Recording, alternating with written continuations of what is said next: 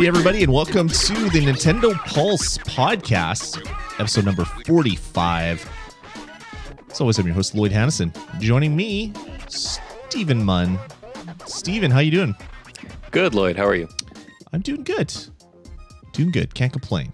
Not as good as you. I didn't find a rare piece of gaming memorabilia slash boxing stuff, um, but, I, but I'm doing good. yeah. Well, you know, you could always try. I, I could. Um, I I won't, but I could. I definitely could. If you do decide to, I recommend collecting something that just came into existence within the past few days. That would be good. It's like, boom, collection done. All right, Yeah. I'm awesome. I completed it. Exactly. Oh, that's hilarious. All right, well, let's get into the show. Uh, St- Steven, how, how you been, my friend? I mean, it's it's been we we missed a week. I wanted to first off apologize for missing a week. Um, had some some stuff happening, couldn't do a show, so my apologies to everybody that showed up last week because it was kind of a last minute thing. Um, tried not to make it a habit, so hopefully we won't uh, miss a week for uh, quite some time now. that would be nice. Yes. All right. Um, before we get into the show, just wanted to mention that we are a member of the Tech Podcast Network. So find other shows like this one over at techpodcasts.com. Uh, stuff about tech, stuff about games, stuff about anything geeky. You can find it over at techpodcasts.com. All right, let's get into the show. Uh, Steven, what have you been playing, my friend? Oh, let's see. Um, I bought uh, Fez. I pre-ordered Fez on Steam um, when they announced it a couple of weeks ago, Right? and then I forgot about it. and then it came out day before yesterday. Right? And uh, last yesterday, I saw a tweet about it, and I said, "Oh yeah, I need to boot my iMac to Windows so that I can install Fez and play it." So I can get the thing that I paid for. Exactly. So, um, well, they were offering like a, I think it was a twenty percent discount if you pre-ordered it. So, and it was only, right. I think it was only ten to begin with. So it That's like pretty good. That's pretty good. So I downloaded, I installed it, and um, I started the game, and all I got was a black screen, and the sound was there, but just a black screen. um, so I hit the Windows key, or uh, I think it's the it's either the option or the command key on my Mac keyboard that maps to that, Mhm. and um, that brought up the Steam window, and then I clicked back, and everything seemed fine. And I'm like, okay, so I walked Gomez around and walked out of the room, and it happened again. Every time I go from any room to another room, the screen goes completely black, and I have to reset the window in order for it to, No way. to display. So the workaround I came up with was running it in windowed mode, and that seemed to solve the issue. Oh, okay. So now I just play it windowed, and it seems fine. Um, what do you think? What do you think of Fez uh, now that you're not staring into the big black abyss? Or did you think that was maybe part of the uh, of the um, I don't know the the message, the the hidden meaning behind the game? yeah, I thought I thought that I thought maybe it was part of the game. Like, okay, so maybe I'm in a dark room and I have to figure out where the lamp is or something like that. Because I could he- still hear the sound and it didn't seem like anything was wrong. It just I couldn't see what was going on. So um, I tried running around a little bit and I'm like, no, something's wrong here. This is this something's not right. So luckily I was able to figure it out pretty quick. But um, I think that it's a really good looking game Hmm. um, the blend of like sprite work and polygons is really really interesting and, and very different. Um, i like it. It's a little bit uh, a little bit baffling at times. I mean i know it's it's like a puzzle platformer and that's the way it's supposed to be but it's like one of those things where you know i'll i'll get to a point where i'll be steadily making progress through a level and i'll get somewhere and i'll have no idea what to do and i'll be like you know what? I'm not doing that.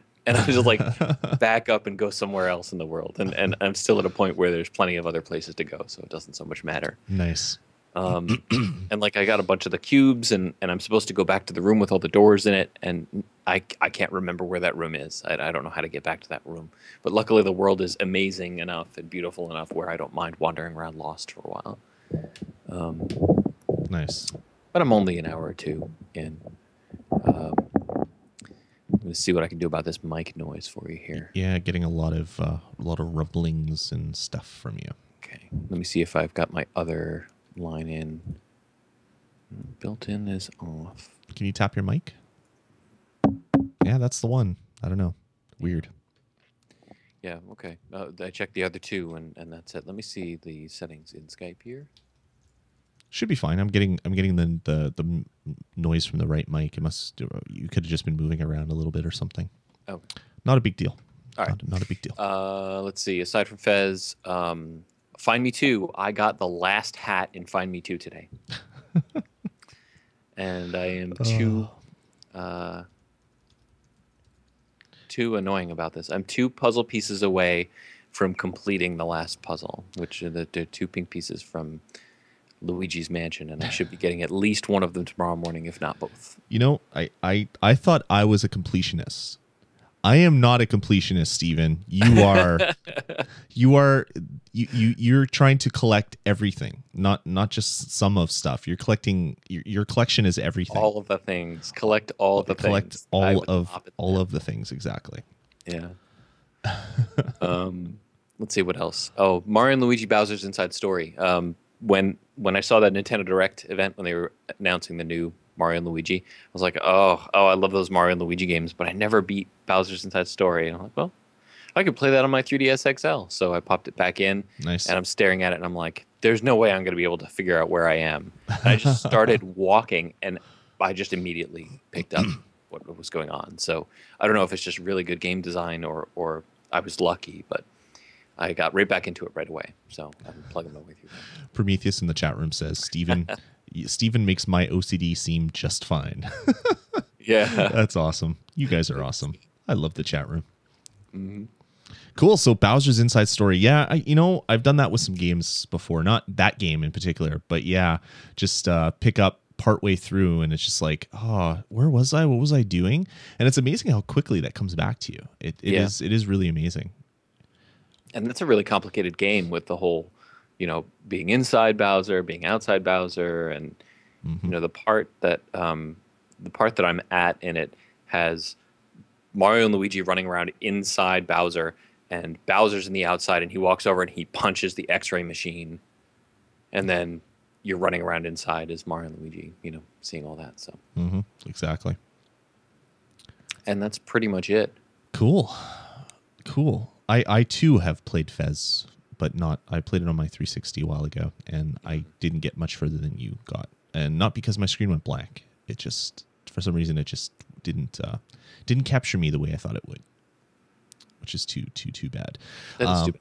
But that's not what I'm going to talk about this week. I'm going to talk about some games that I've been playing. Um, first off, uh, I, I've been playing uh, a little bit of Luigi's Mansion. I, I don't know what it is about this game. I loved the first Mansion, and I just I, I, I can't I can't make it that much further in the game. It just I, I get bored um, for some reason. So I, I think I just need to not touch it for about another week, and then start playing it again, and that'll be it. Because everybody I know is playing it, and they're all like, "Oh, this game is so good! I can't I can't I can't wait to get S class on every single level." And it's just like, "Oh, damn it! I, I gotta I gotta get in here and do this with you people." Um, so I, I'm gonna take a break from that game for a bit.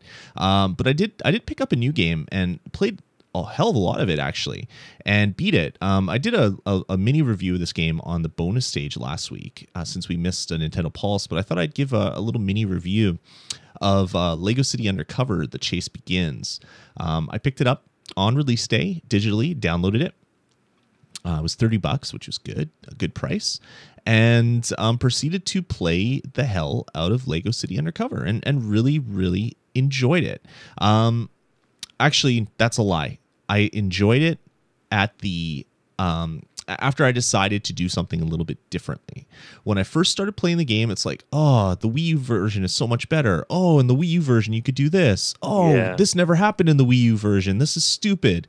Um, and I was finding myself that I was actually not liking the game because there's so much that you could do in the Wii U version that the 3DS just doesn't have. And I, I decided to look at it as a 3DS game, not a Wii U title or not a sequel or prequel to a Wii U title, just uh, as its own little thing. And after I did that, I actually kind of dug it. it. I I didn't I did not hate it. Um, so talk a little bit about it. Um, actually, before we talk a little bit about it, I've already reviewed the Wii version, so I, I thought I'd start with a couple things that this game doesn't do very well. Uh, first off, um, I guess the developers ran into some issues with the engine that they used.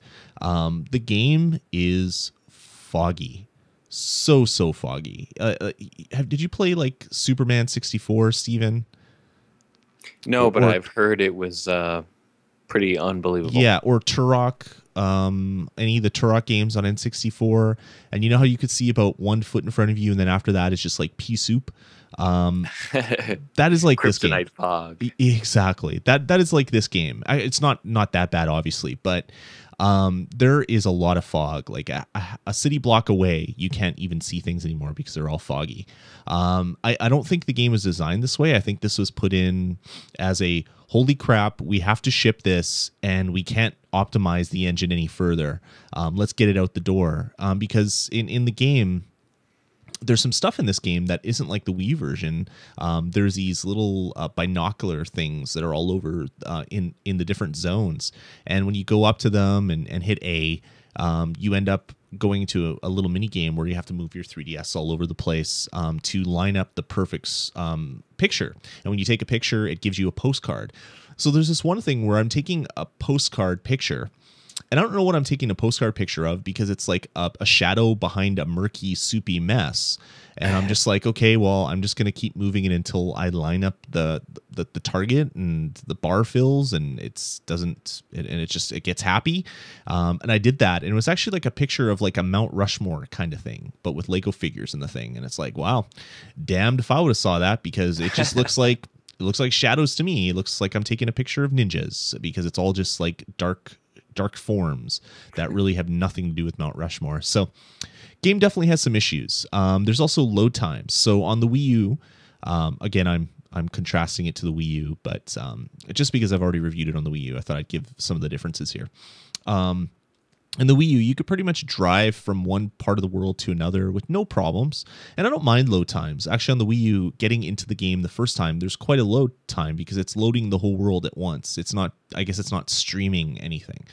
In this game, obviously the the 3DS doesn't have as much memory as the Wii U. So whenever you go from one city section to another, it's actually um, going to be loading loading it, and it's going to be loading it as you wait there and it, it's going to be loading it for about 30 seconds.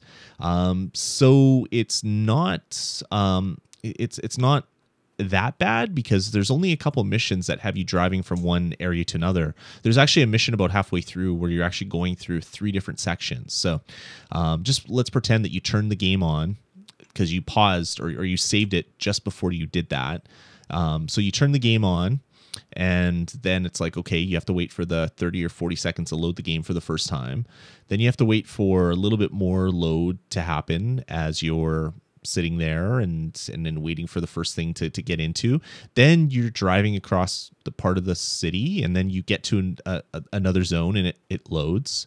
And then you wait a little bit more and and then you're in and you're driving to another part of the city and then it loads again. And then you finally get to the area where you're you're finalizing the mission that you're on. So I don't know. I could see where that would be really jarring to people. And when I saw that, I'm like, oh crap. I, I hope that is not what, what this game is going to be about for the for the second half of the game.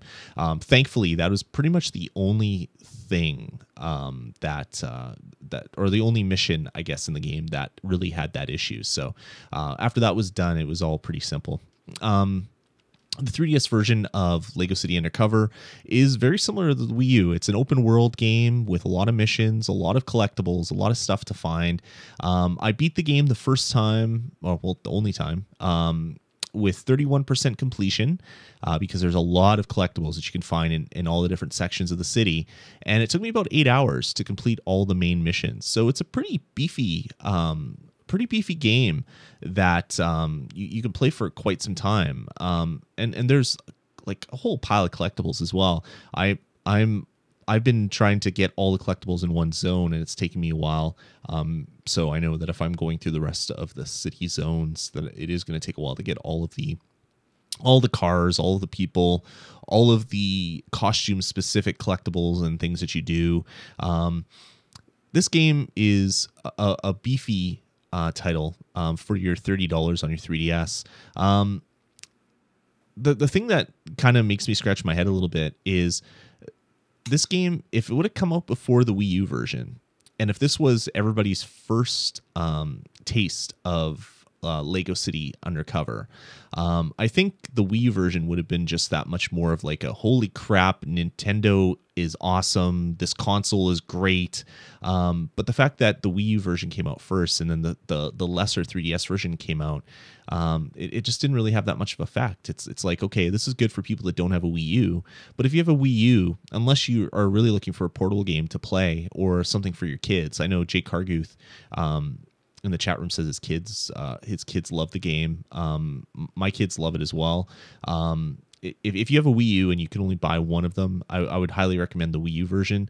Um, if you need a 3DS game to play, if, if you're bored of all your 3DS titles and, and you want to play a good Lego game, this is probably the best Lego game that is on the 3DS. And I've played, I think, all of the other ones that are on the 3DS, except for maybe Lord of the Rings. I don't think I played that one this is the best Lego game on the 3DS, uh, hands down.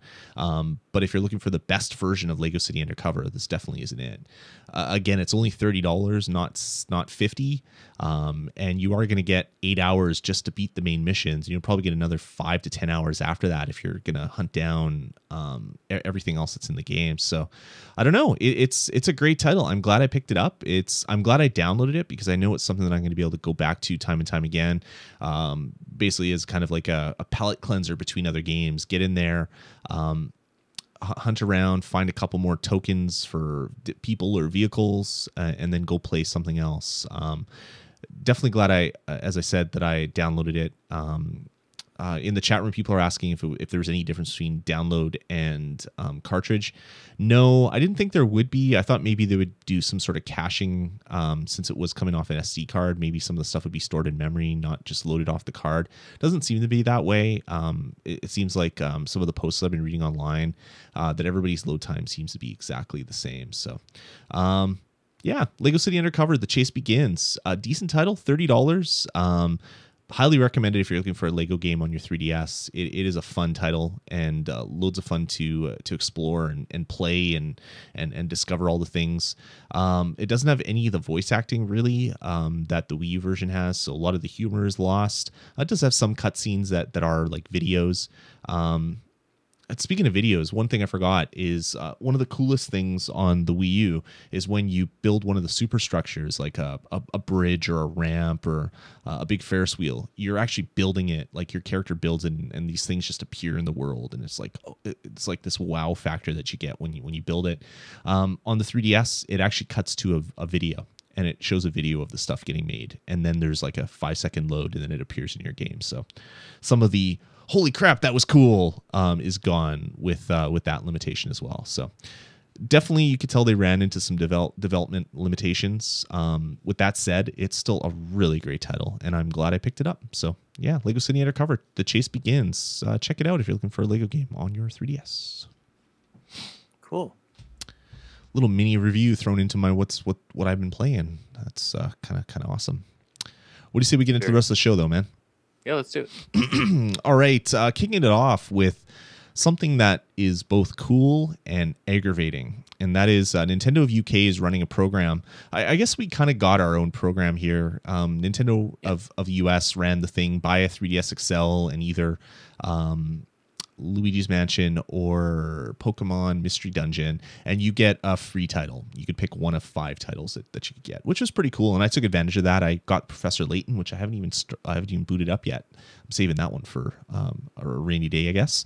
Um, in the UK, uh, they have something uh, a little bit different. So uh, from now until June 30th, if you're in the UK, if you register three of eight titles, so they have eight titles Castlevania Lords of Shadow, Mirror of Fate, uh, Monster Hunter 3 Ultimate, Luigi's Mansion 2, Fire Emblem Awakening, Lego City Undercover The Chase Begins, Pokemon, Mystery Dungeon, Gate to Infinity, Donkey Kong Country Returns 3D, or Animal Crossing New Leaf. So if you register three of those eight games on your Club Nintendo account in the UK, you get to pick any other game of that list for free. So buy three, get one free. That is awesome. I wish Nintendo of US would do that because I could then get another game free because I own four of these eight games. And um, I guess that's why they're doing it in the UK. They want to sell a lot more stuff. Um, the UK is a very Sony um, a pro Sony country, and they, they, Sony sells a lot of stuff out there. So I guess this is Nintendo trying to um, trying to sway some of the kids to play stuff on their portable, not not just on the Sony Vita. Ah, I guess that would be my guess, but I'm not a marketing guy, and I don't work in Nintendo of of, of Europe, so I don't know if that's indeed the case. But it, it, that sounds good. It sounds passable, Steven. sure. That's convincing. Steven's not convinced. What is he saying? Anyway, um, this this is uh this, this is good news to people in the UK. Um, if you haven't already heard about it, go register them games um, on your Club Nintendo and get a free one. Um, I would pick Animal Crossing New Leaf, by the way, just in case you wanted my pick. That would be a good one. That so a good go do that if you are in the UK. Uh, moving on, some bad news out of Nintendo. Um, Nintendo is not having an E3 press conference this year, Steven. They announced it. Um, well, they didn't really announce it. It was basically as kind of like a footnote um, when Nintendo was talking to people after their earnings call. It was in some slides and some stuff that they were basically um, talking to investors and other other things. So yeah, Nintendo's not going to E3 for their big presentation. They're still going to be at E3 and they're still going to do other stuff around E3. But you know the the big three presentations that happen right before E3 kicks off. You always have Xbox first because they're Xbox and they have the big Xbox money. Uh, then you have Nintendo and then you have Sony on the same day. Now it's just going to be Nintendo or sorry, um, Microsoft and Sony. Uh, there's going to be a big a big a big gaping hole where the Nintendo presser used to be. I- I'm kind of sad about that, Steven. Yeah, it's um, it's I guess kind of end of an era, but it really makes sense. It's like when Apple decided not to go to Macworld anymore. It's that it's that kind of feeling. Yeah. It's like it's like oh well, I guess there's still Macworld, but I I like the big press press conference that you would do. Um, Yeah. Nin- Nintendo does say that um, that they're gonna have they're gonna have Nintendo directs around around E3 because let's uh, let, let's talk to the big echo chamber of other Nintendo fans that are already so interested in Nintendo that they're listening to your Nintendo directs. Let's not advertise to people that may not know about the Wii U and other stuff Nintendo's doing. It just seems like a, a, a terrible idea right from right from the get go. I don't know. I Yeah. I mean, Again- I, I assume that all the press outlets will cover the Nintendo Direct event as if it's part of E3 anyway. Well, you're probably going to have all of the gaming outlets will cover it. Um, Yeah. But they would cover it anyway. Um, the, the good thing about E3 is all the press conferences, you'd have them, they'd be on G4, they'd be streamed on different websites. You'd have like the New York Times and other like major publications that maybe don't cover gaming very often would talk about all the big things. It's like Nintendo announced this big, this big thingamajig and it does this and woohoo. Um, but it, the articles usually weren't that great, but at least it was the mainstream media was talking about gaming and talking about Nintendo. Now, will they cover the Nintendo Directs? I, I don't think so. I think they they'd probably be concerned with uh, the the new Xbox Infinity and the PlayStation 4 and all the that other would probably be the case if he, if Nintendo was doing the E3 press conference as well, because what are they really showing? I mean, Yeah. showing a handful of games, I guess so. familiar names. I guess so. But if they if systems, Yeah, but if they drop a megaton where it's like, yeah, Smash Brothers coming next month, and the month after is Mario 64, um, redone in 3D visuals on your 3DS. Oh wait, we already did that. Okay, well let's do something. Let's do Mario Galaxy. yeah. that's what we want to do. And here's a vitality sensor, but we're not going to bring that out. Like they could they could pull out some weird crazy stuff again, and it, it might do good. Um, they could they could re-release a bunch of games, so they could announce a bunch of stuff, and they would get a lot of press even with the other console announcements. But this really seems like a move where it's like, wow, well, they're going to announce big stuff, and we have this little console that we can't sell right now. Let's just not even do it. Let's put our hand, heads in the sand and, and forget this E3 thing is even happening.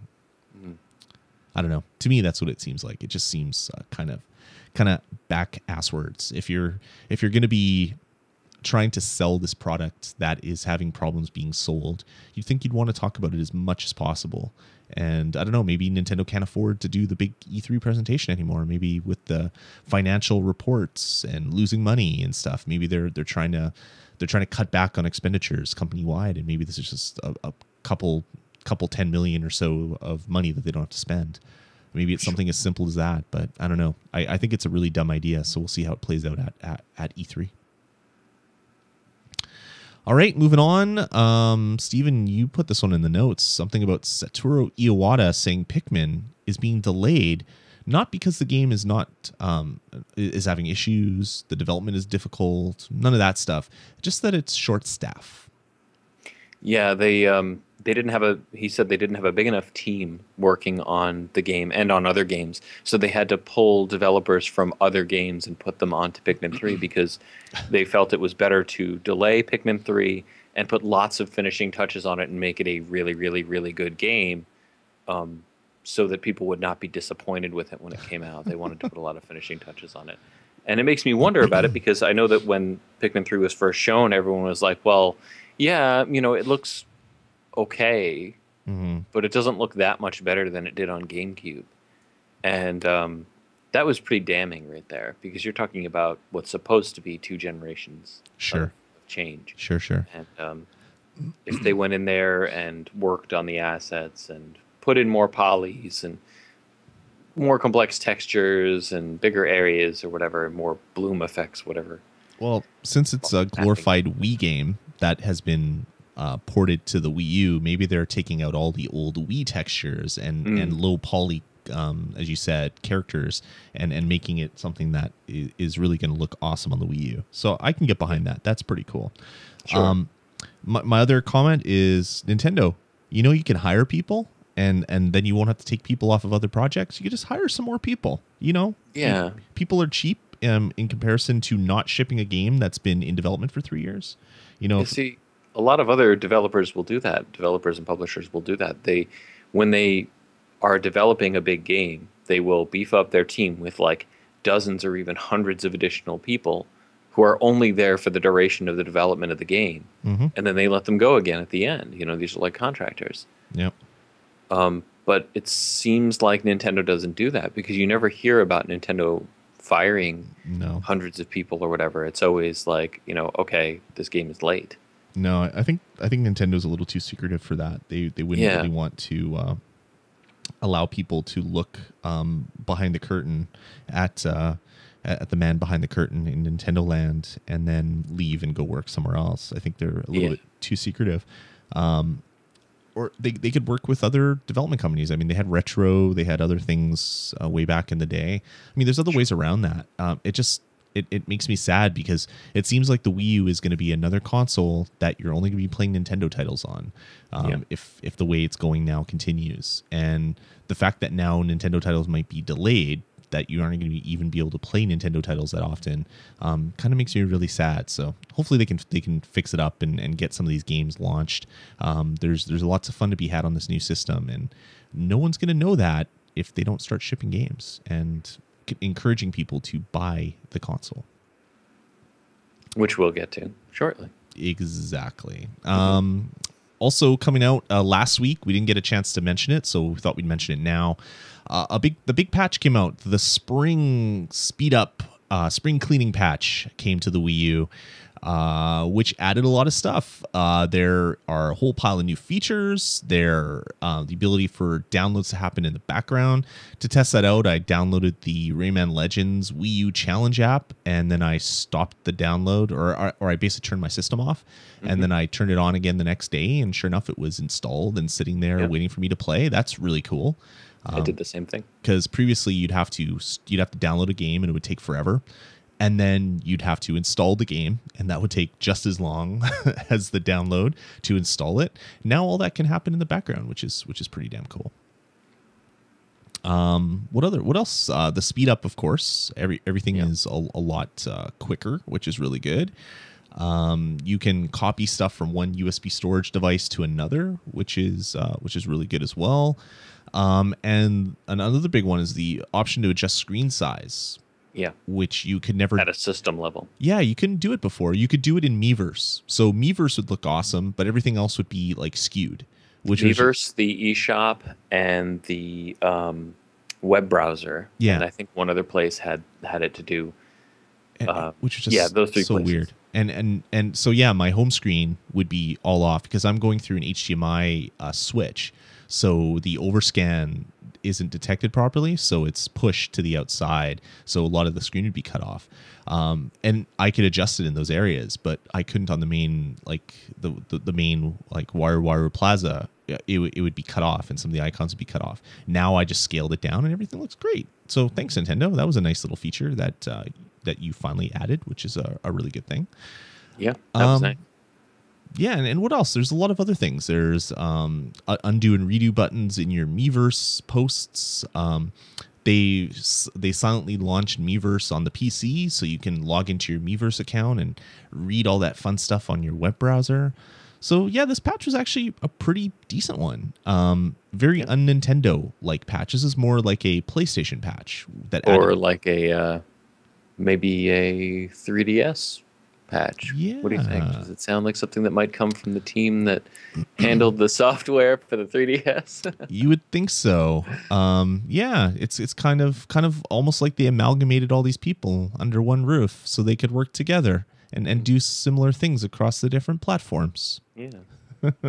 Um, there's some rumors out there that uh, a coming 3D patch this year, a 3DS patch this year, will basically basically put Miiverse right on your 3DS, so you, it'll be Yeah. similar to the Wii and some other stuff um, as well, which would be really cool. Um, there's also a lot of talk about uh, uh, your Club Nintendo account becoming your account, your Nintendo account, um, which will then be the same across all the different platforms seems like there's a lot of there, there's a lot of effort um, in Nintendo's headquarters to really make the the Wii U and the 3DS kind of perform together, similar to the Vita and the the PS3, which is really cool, or the Vita and the PS4, which will be coming out.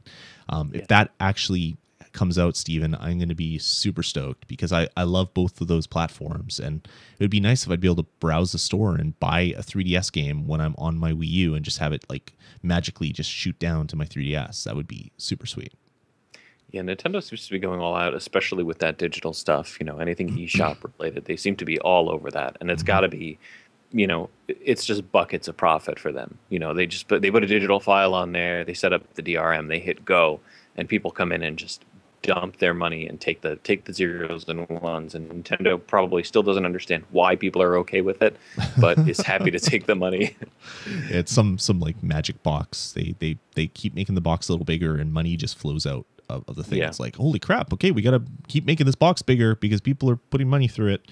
yeah. Um yeah. Another neat feature they added was that you can hold the B button down while the system is while the Wii U is starting up, and it'll go straight to the Wii menu. Um, I, I guess this is Nintendo acknowledging that the only good games on Wii U are Wii games. yes, zing, indeed. That is uh, that is true. Um, and and all this talk about um, the update kind of made people forget that the Virtual Console um, launched as well. Oh wait, no, the pricing made people forget about the launch of Virtual Console on the Wii U. So uh, that's why no one's talking about it. Um, Virtual Console launched on the Wii U, and games are way too expensive. Um, and two, there aren't enough of them. yeah, there's eight games that launched on the Wii U.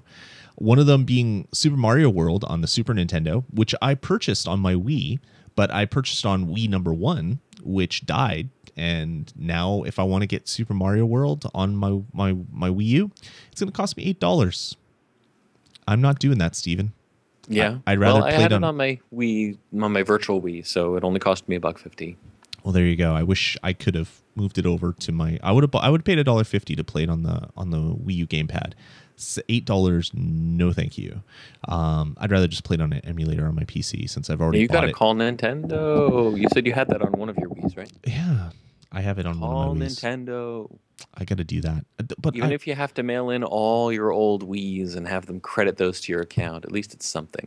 yeah, they seem to be so. really good about this. I mean, they have to do it all manually, and it's a pain in the neck, and you have to get on the phone to do it, but it's Hmm. all possible.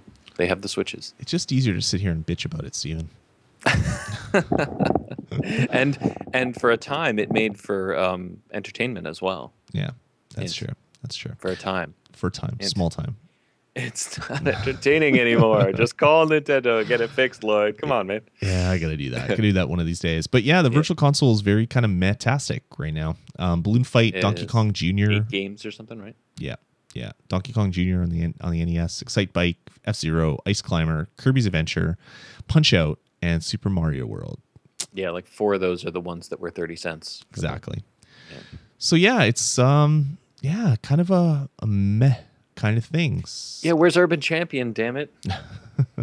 Where's anything that I would rather buy for like and eight dollars? Like, do you think the pricing's good? Like five dollars for NES and eight dollars for for Super Nintendo? I think that's a little. Well, I'm much. torn on it. It seems it seems really high to me, but I think that our perception of it being too high largely comes from the fact that since the mid '90s, we've been stealing those games. Um, Uh, I don't even think that's it. I mean, I, No? I for me, I I'm happy to pay. I I mean, I I played emulators a lot, um, but I also own most of the games that I played on emulators. I just didn't want to hook up my Super Nintendo or my NES um, to a television. I'd rather just play on my computer. Yeah. Um, like I, I I guess where I'm getting or where I'm coming from is when I look at games that I'm playing on my iPad or downloadable titles that I'm downloading on my Vita or my PlayStation 3. Like Yeah. I can get a really good game for $8 that isn't something that is just a repackaged game that came out on a, a console like 3 generations ago. but is it Super Mario World? No, but I but I played Super Mario World. It's not a Yeah, new it's yeah. not a new game. It's an old experience, which I still appreciate. I'm a big retro game fan. Yeah. But I, I think I might just wait for my Retron to get a Retron and then just plug my cartridge into it and then Yeah. play the original cartridge. It, it would be better than buying all these games for eight dollars, which I already own on cartridge, which I already own on like the DS ports, which I already own on the 3DS ports, which I already own on like this the the Wii. Like there's like Yeah. so many of these games I have like five different versions of. Um, you don't want to know how many times I've bought Castlevania. well, yeah, that's a little different, but yes, but yes, you, you you should be free to play any Castlevania game on an emulator without feeling guilty, Stephen. Oh yeah, trust me, I do.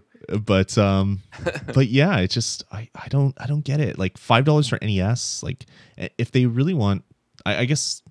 I guess this is the Wii. The the Wii, all the NES games were five dollars, and all the Super Nintendo games were eight, like five hundred Yeah. points and eight hundred points.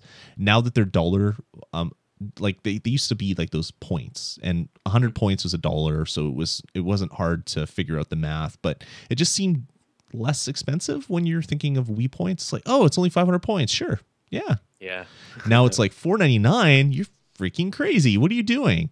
Um, yeah. Well, back then you also didn't have things like the iPhone and, and Play Store, Exactly. Yeah. Exactly, and that's another thing. Like I just bought Lego uh, Lego Batman uh, DC Universe on my iPad for five dollars. I and that's I for the same price I could get Ice Climber or Yep. Balloon Fight. Actually, no, I paid thirty cents for Balloon Fight, so I guess Donkey Kong Jr. Yeah. would be the other one. Sure. Um, like for me personally, like five dollars for a Super Nintendo, sure. Four to five dollars would be good. Two dollars for an NES, sure. I'd rebuy those games again. Um, Yeah. I just Yeah. don't want to be shafted again. I don't want to lose like my access to these games, even though my That's Club what Nintendo really account. tears it for me. The fact that I I spent. Uh, I, I wish I knew exactly how much I spent on Virtual Console and WiiWare games because it was a lot of Mm-hmm. Well, money. At one point, with um, I I created the um, what was it? Uh, Virtual Console was it Wii Wii VCDB website? I was gonna do reviews on Mhm. every single remember Wii that. Virtual Console title, and I did like forty. And it was just like, okay, this is stupid. I'm spending so much money on Virtual Console titles, which I've already played. Um, But so there's 400 now.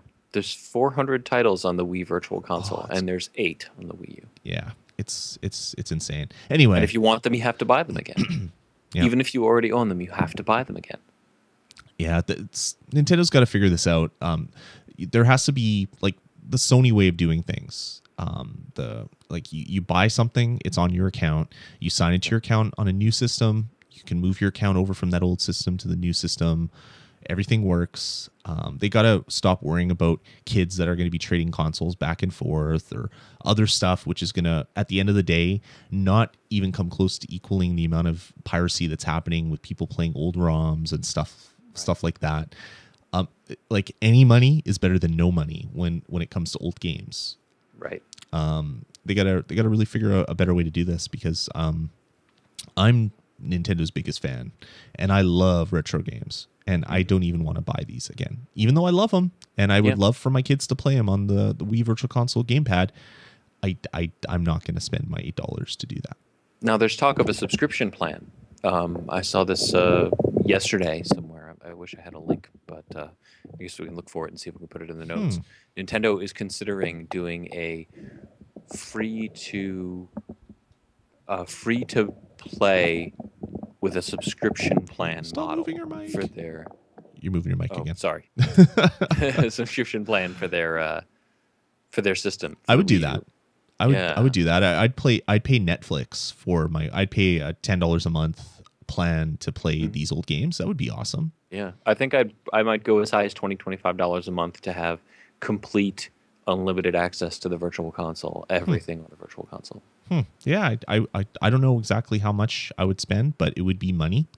Um, it, more money than what Nintendo will get for me now. So Oh, um, yeah. any anything to do with this would be would be good. That's very very cool.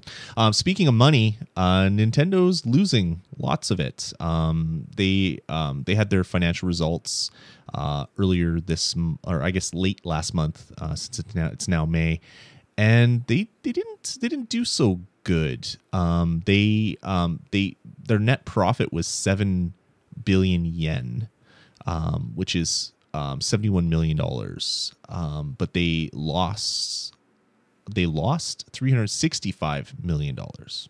So the quarter they made money, but for the year as a whole they lost money.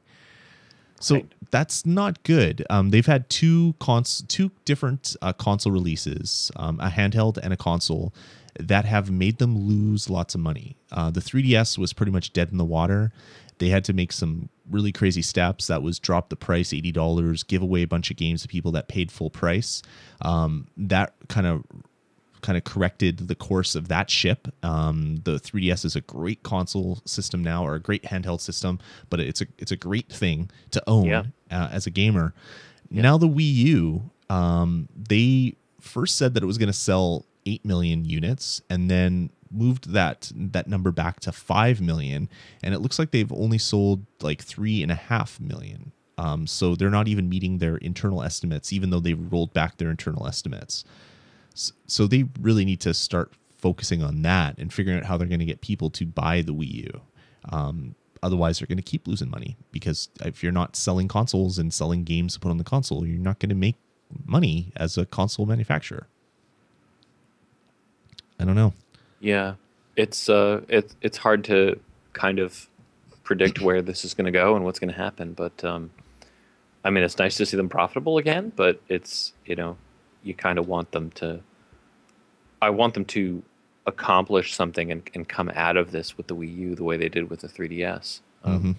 Totally. And I guess the only good thing to say is that they they lost less. Um, the last financial year they lost 530 million and the or sorry 2 years ago I guess 530 million and last year they lost 365 million so that's that's like 150 million less that they lost and 160 million so or a little bit more, but whatever. You, you get what I'm saying. It's they they they lost less. That's a good thing, but they're still losing money. They have to figure a way to stop that loss and stop hemorrhaging um, all all the yen that's flowing out of their Scrooge McDuck sized money pit that they swim around in. It's uh, sprung a couple leaks. They gotta they gotta plug those holes Yep, definitely. and see what will happen. So hopefully E3 is big, even though they're not having a press conference. So is it really going to be big? I don't know. And and I'm hoping that um, I'm hoping that Pikmin Three is this unbelievable game because at this I don't have a pre-order in on it at this point. I have no interest in No. buying it, and and they're hoping that they can put this out as a as a console seller. Um, I, I think I don't think that brand has that kind of power. I don't think anybody knows what Pikmin is. That isn't already a Nintendo fan. Yeah, Like you're not gonna you're not gonna go to a mom and pop in a mall and show them a Pikmin poster and they're like, oh my god, I love it. My kids will love it. It just it's not a title that is like a hardcore Nintendo or it is it's a hardcore fan. it's not a Mario. It's not a Zelda. It's not even a Metroid. And Metroid is so de- is so is deprecated the word now. I mean, is that a fair word for Metroid? I guess so. Yeah, it's kind of it's kind of fallen. It's it's it's got a little bit of tarnish. Um, it, it needs to be buffed a little bit before it will start selling like it uh, like it used Yeah. to. Um, do you know what will actually help Nintendo, Stephen? I figured it out. If only Nintendo would send a message to every single Wii with that little blue flashy flashy light on the front of your Wii that says, "Hey, it's time to discover Wii U." That will solve all their problems, Stephen. I don't know if it'd solve all their problems, but it certainly would be a nice step. Well, they just did that. They sent a message out to every registered Wii uh, that has the messages enabled advertising the Wii U. So They, they they're that scared that people don't know what the Wii U is, so they're sending notices out to every Wii owner that's like, "Hey, pick up this new system. It's yeah, not it's just not a, just an upgrade. It, it's not just a peripheral. this is not a controller. Yeah, this is a whole system. Yeah, exactly. Yeah, it's uh, it's oh, it's so bad. I I hate it because it's like it's like watching a train crash in slow motion. Like you don't want to see it hit, but you kind of just can't look away because you're you're oddly like I don't know, intrigued by the whole like big fireball that's about to happen. I mean, that's how I feel about Nintendo right now. Like they're they're heading down a really dark path, and they don't seem to be able to like put the brakes on or steer out of the way. I I really hope they do something good at E3. I I really really hope. Yeah, really really yeah, hope. hope for the best. All right. Well, maybe this will help. Um, there was a game that launched as um, uh, I think it came out like the the week after the Wii U launch. It wasn't quite a launch title, I don't believe. It was shortly after. It was called Tank Tank Tank. Uh, with lots of exclamation marks. You're welcome. Um, you're welcome. You're welcome. yes, thank you, thank you. Um, it's uh, it, it's basically I, I, believe it's a Namco game, and it's a port of an arcade title that has um, it's one of those big big arcade titles that um, it, it basically has two pods set up and it takes a picture and it puts your picture on the tank and you drive around and and kill each other or whatever. Um, I was really intrigued about that. I, I, read a lot of articles about the game after this was announced because I didn't know what it was about, and I'd love to have um, to have one of those arcade machines nearby. Um, but I thought, hey, this would be fun to play with my kids. And then I found out that it came out as a $60 title. So it was essentially an arcade game that you'd be putting a couple dollars in to play. Or you could pay $60 and play the pretty much exact same game. Uh, seemed way too overpriced for, for yeah. my liking. Um, and I think they fixed that. Um, they've released the base um, game of Tank Tank Tank for free. So you can go to the eShop right now and download Tank Tank Tank. Uh, you get a couple modes, you get a, a couple different things to play through. And if you want more, you can buy it piecemeal. So the true freemium thing, like buy as you go, pay as you go. If you want more stages, you can buy more stages for $1.99 each. If you want different gameplay modes, you can buy those for five bucks or whatever. Um, seems like a really smart thing to do with this title. Um, I, I'm I, am going to be picking it up. I haven't downloaded it yet. I'm going to start the download right when we finish this show and start playing this game with my kids because I, I, really think they would really enjoy that. The kind of uh, death match with with fun tanks and shooting things. So um, yeah, um, check it out. Tank Tank Tank freemium free download. You can play some of the game for nothing and then buy it piecemeal. And I, I wonder if all the stuff added together actually equals more than the sixty dollar disc price. It it, it makes you really curious if they're that evil to get people to spend more than um, sixty dollars or whatever the, the full retail price is now. But anyway, if you just want a couple deathmatch um, maps and stuff like that, this might be the way to go. So do check do check it out. Free on the App Store or free on the eShop. I keep calling it the App Store. Sorry, I just did the iOS Pulse podcast or the uh, the Touch of Gaming, and uh, yeah, I keep saying App Store. My apologize. All right. Um, some other sadness, even though we got a little bit of happiness. Um, Madden uh, football, one of the biggest selling games every year. Um, Nintendo, or sorry, Madden has been uh, released on a Nintendo platform since 1991, Stephen. They have never missed a year, so it was on everything, all the way up to the Wii.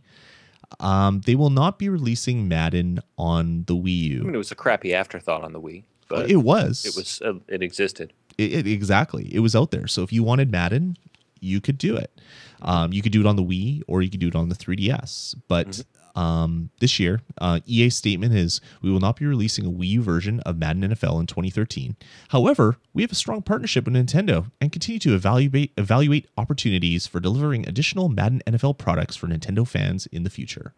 Which is you suck. We're not we don't like you anymore, but we'll still keep your number in our phone, so maybe we can drunk dial you at some point in the future. It's it's basically if you start selling enough consoles where we could possibly possibly make the money back manufacturing a Madden title for Wii U, then we will manufacture a Madden title for Wii U. And it, it makes sense if there's three and a half million consoles out there, and mm-hmm. and how many how many people with a Nintendo console actually buy Madden? You know, the last time I bought Madden, do you want to know what what what year there was? No, actually, let me amend that. The last Madden that I owned, Okay. I didn't even buy it myself. Okay. Madden '94, and it was on Sega Genesis. Wow. There you go. Well, you- You're not a big football game fan, I guess. Video No. game. But there are Oh, people I loved Madden '94. I played it like crazy. the- but honestly, it's this. It's been the same game since then, just better graphics. Well, that's exactly, and and better. I mean, it's a better game. It's a better game. But um, the the funny thing is, up to uh, I think it was like three years ago, the the top selling Madden was the PlayStation 2 version. Even though the PS3 was out, it was just the people bought the PS2, and that was their Madden box, and that was all they played. Every year they'd get the new Madden, and they put it in the Madden box, and they play the Madden on the TV with the Madden stick, and that was it. And it came out on the Wii. It came out on a whole bunch of different consoles, but since 1991, Madden has been on a Nintendo platform, and this is like 20 plus years of Madden, and the Wii U killed that. Like that has got to say something, Nintendo. They they they they should be having problems keeping stuff in their body right now. It should be shooting out of every single end. And they should be trying to scramble and figure out a way to fix this because one of the biggest franchises out there, which has always been on a Nintendo platform, will not be on a Nintendo platform this year. And that's that's got to say something. If nothing else, It is a big deal. It's a huge brand. It's like Call of Duty. To, Call of Duty these Yeah. days. I, I'd be surprised. Like, what if the next Call of Duty doesn't come on the Wii U? I mean, it's already been leaked that there the logos on on on the on the website, the the teaser site for it. But what if that logo goes away and it actually doesn't come out on the Wii U? Like, this is this is sad. This is really kind of sad. Um, there's a couple rumors that came out today that I was reading that it looks like Tiger Woods has been canceled as well and will not be coming on the Wii U, which is funny because the renaissance for Tiger Woods was the Wii game that had one to one control and it was like, look, Tiger Woods can be cool again, and it it all of a sudden got popular again and everybody loved it, and now it's not coming on the Wii U it's sad, man. I, I every time it's like I'm talking at a at a at a funeral. I'm giving a eulogy to a system here, and this Yeah. really makes me sad. I love Nintendo. This can't happen. People have to figure this out. Yeah, I mean it's. I, I recognize the importance of these franchises to other people, Mhm. but these games, none of these games matter to me. These are not the games that I want on the platform that'll make me happy to own it. Totally. But I already own the platform. So- Yeah, and I, I think what it is is these are the types of franchises that people look for when they buy their next console. It's like, okay, well, I want a new console so I can play a racing game or a platformer, but I need to be able to play my next my next Madden. I need to get be able to to Yep. to, to, to golf a little bit with Tiger or play the next NHL game. Um, whatever whatever game you love, whatever sport you love, it's popular. Um, it, it's like the hardcore kind of gaming public. Maybe that's not your kind of title, but it, it is a popular franchise. I haven't bought a sports game in forever. I mean, I buy NHL hockey maybe every two or three years just to have something newer to play. Um, that's about it. I, I haven't bought Madden forever. I bought Tiger Woods on the Wii just because it was awesome with the one to one control. That was great until I until my shoulders were super sore from playing it for too long, and then I didn't play it so much anymore. Like it, it was just yeah. I, I mean this this is a huge. This is like this is like the start of death rattles for the console. Uh, I Yeah. I really hope Nintendo can can solve this. I su- I'm surprised they don't at least you know put out like an eShop release of the game. You know what Yeah. I mean? I, I just bypass the whole manufacturing costs and stuff like that. Yeah. Considering they're already making the game for other platforms, why not just you know poop out a uh, an eShop version of the game and let people download it and play it with almost no cost and all profit? I- I think they'd probably sell quite a number of copies, enough to make back the you know. I mean, since the development's already done for other platforms, right? I mean, Yeah. everyone claims the Wii U is easy to port to. I, I guess so. I, I think the only problem with this is the um, the people that would be buying the Madden. A, a lot of them would be kind of the Walmart crowd that maybe live in in urban centers that don't have um, high availability of broadband internet, or even maybe don't have broadband internet because of the cost. Um, a lot of those people are the ones that buy like the NASCAR games or the Madden games or whatever. Not, I'm not trying to stereotype. It's just that's when you look at sales, most of them come from for, for Madden. They come from Walmart. Um, and maybe they they looked at okay well the demographic of this store and the demographic of high speed internet maybe they don't meet anywhere. And they're thinking okay well maybe we'll only sell like 10,000 copies or 5,000 copies if we do digitally instead of like the the 40 or 50,000 copies we'd sell um, if we did a disc. And so maybe it Yeah. just it didn't the, the spreadsheet columns didn't line up for whatever reason.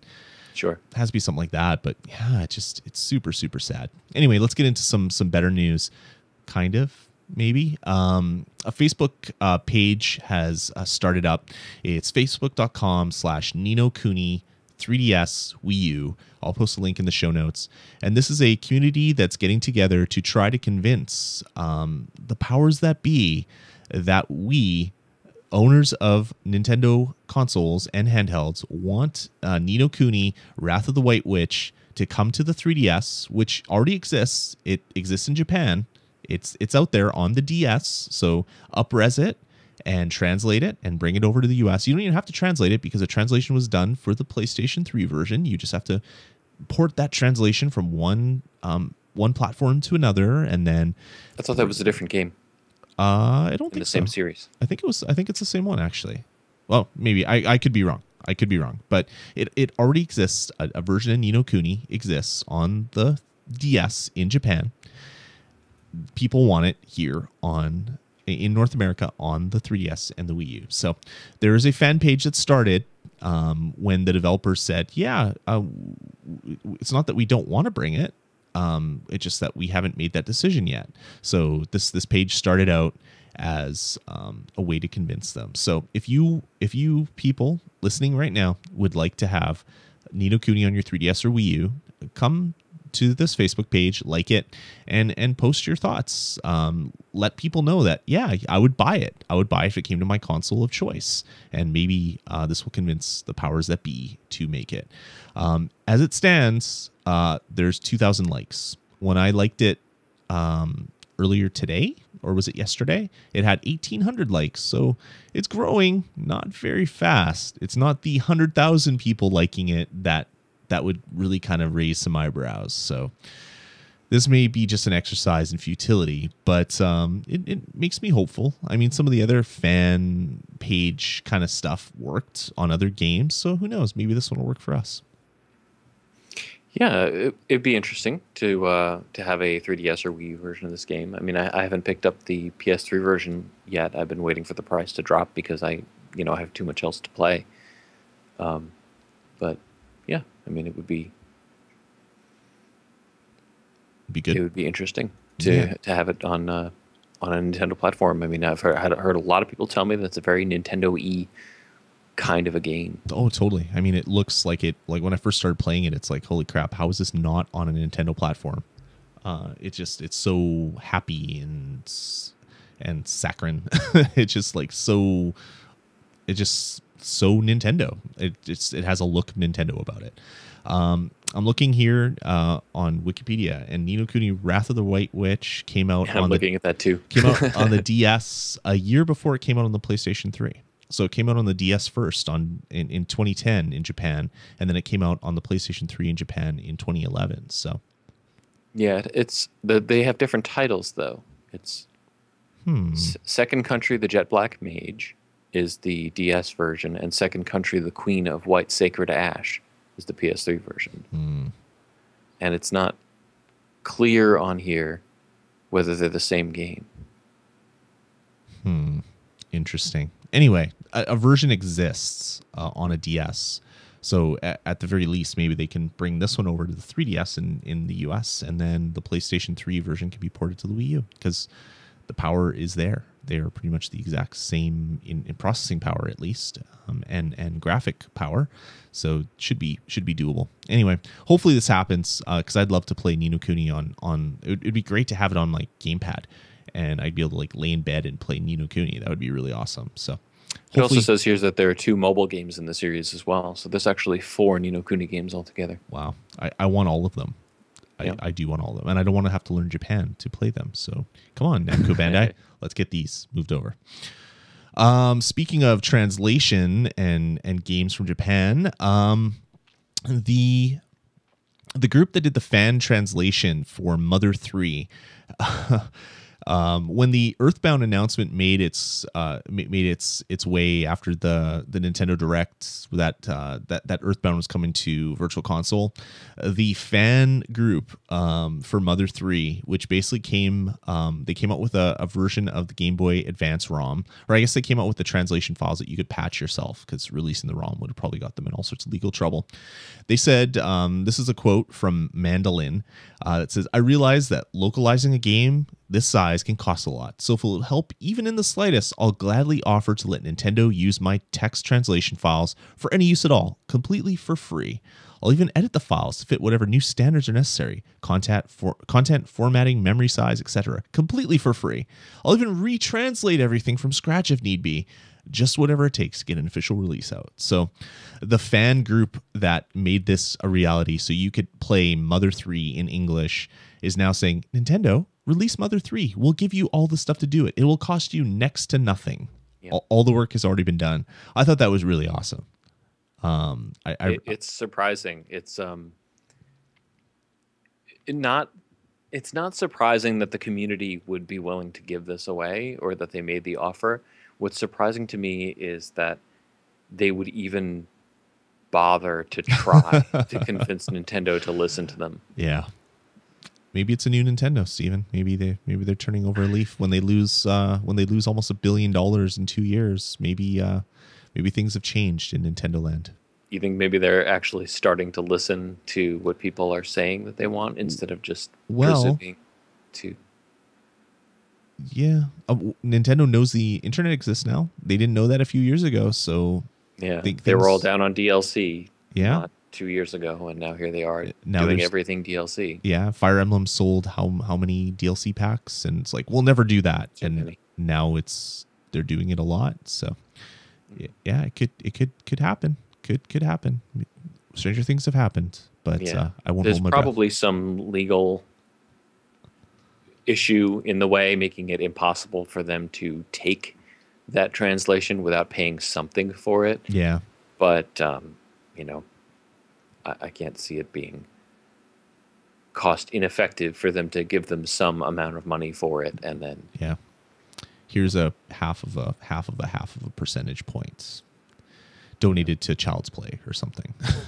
or, or maybe they make some they make some legal comment oh you know this is a slippery slope issue and if we start giving money to groups of people who are you know hacking and translating our games then there'll be people hacking and translating our games all the time and that show, that sends a message that Nintendo endorses the hacking and translation of our games. Stop thinking like a lawyer, Stephen. Come on.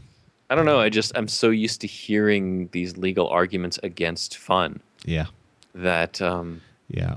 N- I Not just I can actually formulate them on the fly. yeah, maybe something like that would happen. Um, it, it's still a great idea, and it's it's great PR for the group um, that uh, Yeah. that did the translation at, at the very least. Um, at least it tells people that if you want to play Mother Three in English, uh, if you have an emulator or if you have a way to play a ROM on a on a physical device, um, you can you can do it. It's not legal, but it's there. And if Nintendo wants to make the monies, they got to make it a legal way for for you to go and do that. Yeah, and, and they have a they already have a completed. They supposedly at least had at one point a complete translation of of the original Mother game. Yep. Um, Yeah. They just didn't bother to release it because of when they were in the product cycle for the NES. But Yeah. Exactly. they could just put them all together as a bundle and sell it for ten bucks on the eShop on the Wii U. And And it would sell many many copies. you think so? Yeah, I think it would. I think there's enough people that love um, love those types of games that would just love to to play them as a as like a complete package. Um, it's obviously it's not the not the Madden crew wouldn't be coming to play it, but I, I think there's enough. Hard. But they're not on this platform anyway because there's no Madden on Wii. Exactly. So you've you've gotten that whole idea. You've kind of thrown it away. It's not even a possibility anymore. Sure, but- they yeah. solved that. Pro- that was this is Nintendo solving problems. By keeping Yeah. Madden from coming to the For platform. people that don't like Nintendo games, you can't Mm. come on our console because only Nintendo games will come on our console. This They're is like gonna go elitist. exactly.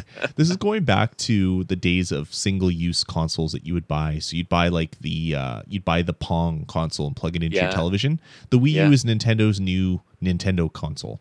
Yeah. Only Nintendo games will be available on the Nintendo console, and that's it. Hasn't it kind of been that way since the N64 though? It kind of has, kind of has, Yeah. sadly enough. Um, all right, let's talk about some some other stuff. Uh, there's a Fire Emblem DLC that came out this week, um, or is coming out next week. I think it came out this week. Um, it's called the Summer Scramble Pack. I haven't kept up on the Fire Emblem DLC because there's just too much coming out, and I stopped playing Fire Emblem because I was just too much. Um, and the Summer Scramble Pack, um, it, there's a beach map where uh, you could go and battle on a beach. Um, but there's apparently one square that you could stand on. And when you do, it shows a bunch of screenshots of the main characters in bikinis and swimsuits because you're on a beach and you're partying on a beach. Well, there's uh, a, a character um, who has been censored because in the Japanese version, there's a shot of her and you could see her bikini butt. And in the US version, um, they've changed it, and there's like it looks like there's a cape that's blocking her butt, which actually makes it look less, look, worse actually, because it looks like there could be nothing there. So it's actually even more racy than what it could have been before, because it's just a it's a small little drawing of of someone in a bikini. Really bizarre. Like for Nintendo to go ahead and and and do that, especially with some of the dialogue that's in the game, like talking about like jubbly bits and um, other like euphemisms for breasts and other things. That was not taken out and censored at all. But then to censor out an image in a DLC, so it's not even like general availability. Like you'd actually go pay money for this to, to get it. Like it's just such a weird thing for Nintendo to censor. I don't I don't get it. Yeah, this reminds me of um, the was this the Hercules game for DS where they did this same kind of a thing. Yeah, I remember something. There was there. It happened. I wrote something about times. that.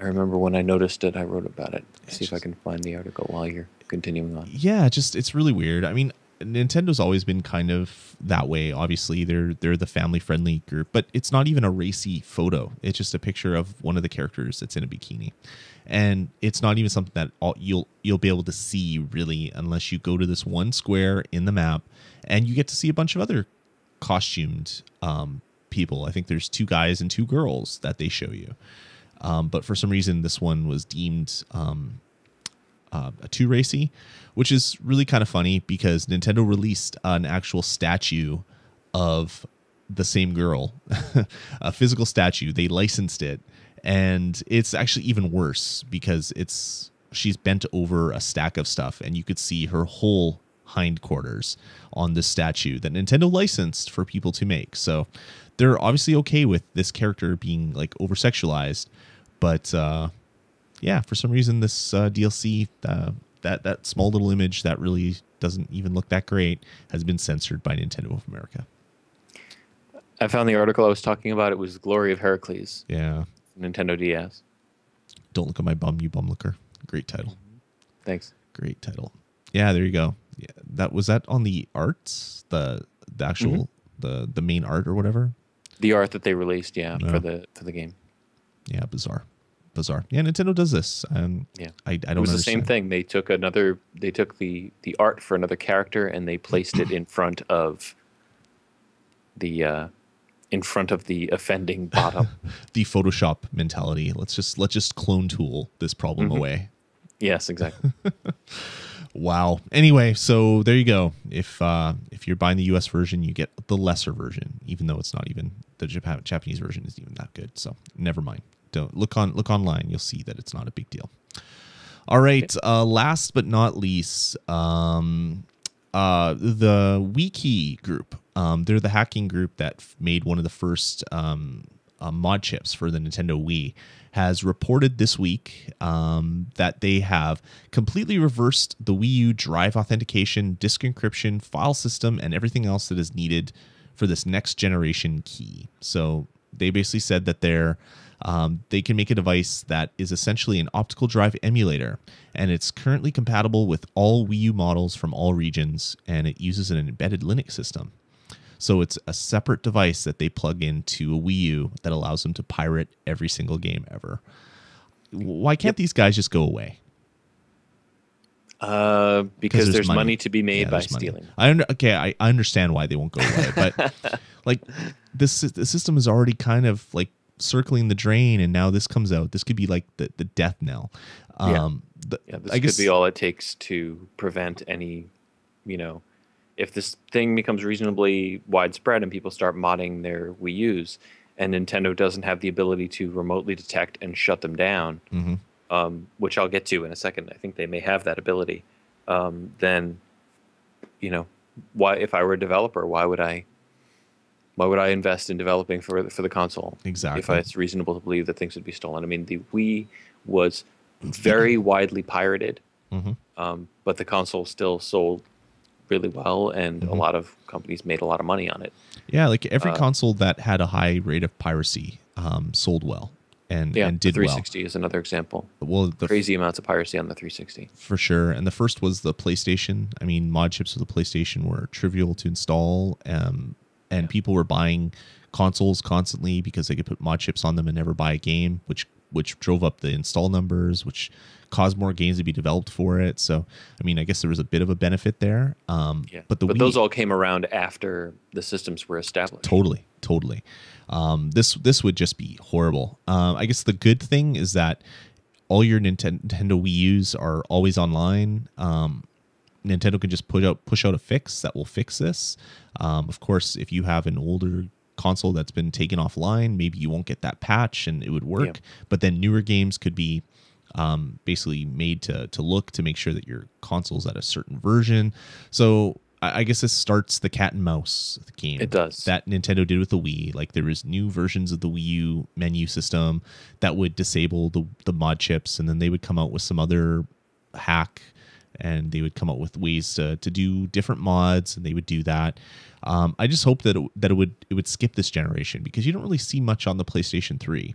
There was there was that the PS3 key for a while, which is this little Yeah. USB device you'd plug in, um, but that kind of went away. I guess the 360 people are still able to do that. I mean, there was like people that were like flashing the firmware on their drive and doing all sorts of weird things. So I guess that exists, but It- it's not as easy as ripping a, a, a game to a hard drive and then plugging it in on this with this special device. That seems pretty trivial and scary when you're a, Yeah, and a on the developer. Wii, you don't even need to hard hardware mod a Wii to pirate games on it. It's that's all software. So, you know, that's there's no that one's way easier than even this would be. These these kinds of hardware mods are usually not that not used that much. Mhm. But I mean, we'll see. We'll see what happens. And the reason I talked about Nintendo, you know, cutting these down remotely is Nintendo's response to this news when they were asked by the press to, you know, for a comment on this, was that that they do not have any records of anybody running games on a modded console, Mhm. which implies that maybe they have the ability to detect something like that. Um, Sure. if that's the case, then maybe they could stop these kinds of things. Maybe when they actually build one of these mod chips and install it and put that system online, Nintendo will see it and you know either brick or block that console. hmm Um, that would be a really interesting turn of events, but you know I find it hard to imagine that Nintendo would be able to outfox something like that. You know what I mean? Because when there's whenever there's whenever there's things to be stolen, there will be someone who finds a way to steal it. hmm Exactly. Yeah. So- Where, where there's a will, there's a way, and uh, Yeah.